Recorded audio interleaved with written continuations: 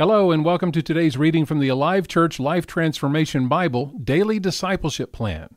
We'll read the daily devotional as well as the verses chosen for today. Our readings this week focus on yet another of the fruit of the Spirit. It's kindness this week. Kindness is a deliberate act, and I choose to act in kindness. God has shown me great kindness even when I didn't deserve it. His actions, keeping His promises, and extending mercy and forgiveness toward me have always reflected His loving kindness. Therefore, today I will treat everyone with kindness. The fruit of the Spirit living in me is kindness. So, regardless of how others may treat me, I will remain calm, peaceful, and undisturbed by their actions. I will be quick to forgive and willing to overlook their actions by responding to them with kindness. All people are created in the image of God and deserve to be treated with kindness, regardless of how they have distorted or misrepresented that image. Kindness is a deliberate act, and I choose to act in kindness.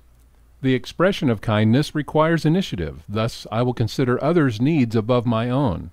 As others observe me throughout the day, I will be careful and disciplined in my actions to communicate kindness, for my actions reflect my relationship to Jesus as his follower.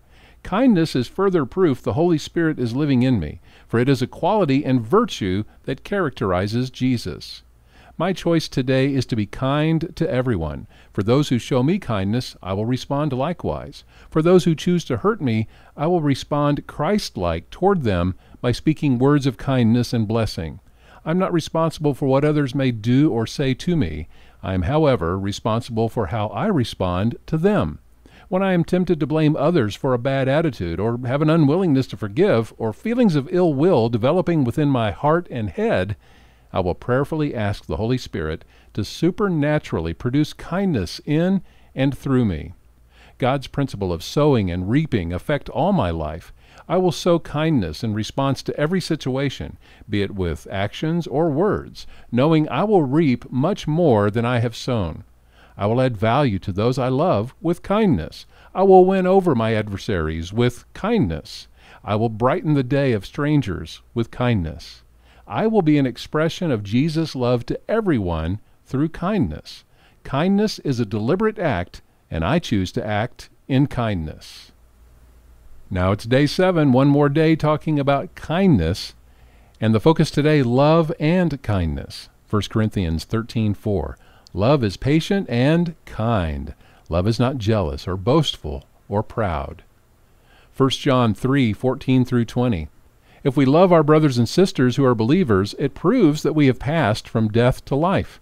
But a person who has no love is still dead. Anyone who hates another brother or sister is really a murderer at heart. And you know that murderers don't have eternal life within them. We know what real love is because Jesus gave up his life for us. So we ought to give up our lives for our brothers and sisters. If someone has enough money to live well and sees a brother or sister in need but shows no compassion, how can God's love be in that person? Dear children, let's not merely say that we love each other. Let us show the truth by our actions. Our actions will show that we belong to the truth, so we will be confident when we stand before God. Even if we feel guilty, God is greater than our feelings, and He knows everything. And our memory verse this week, one more time, how you doing? We prove ourselves by our purity, our understanding, our patience, our kindness, by the Holy Spirit within us, and by our sincere love. That's 2 Corinthians 6 6. The real benefit of this reading plan comes from the action you will take because of it. Every day we encourage you to consider what areas of your life will benefit from this action and how will that happen. Find out more at alivechurch.com and have a great day.